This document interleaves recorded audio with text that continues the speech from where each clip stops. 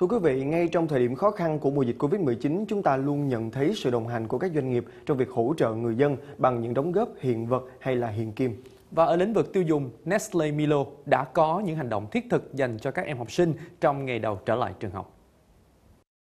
Hơn 2 triệu hộp sữa được Nestle Milo dành tặng cho các em học sinh thông qua nhiều hình thức khác nhau. Cụ thể, ngay trong ngày hôm qua, 16 tháng 5, tất cả người dân khi đến mua hàng tại các hệ thống siêu thị Big C, Coop, Lotte, Aeon, Bách Hóa Xanh, Mega Market và Vinmart trên toàn quốc đều được nhận món quà là một lốc 4 hộp sữa lúa mạch Milo 115ml miễn phí.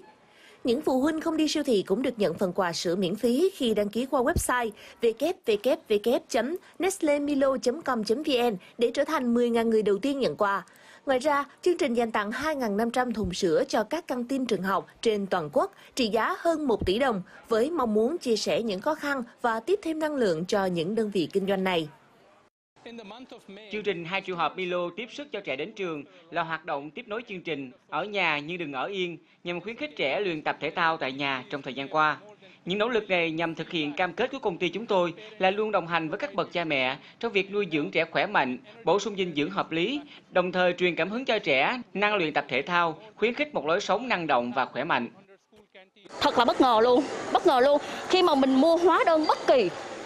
kỳ sản phẩm trong siêu thị là mình được tặng một hộp một một lốc sữa Milo như thế này.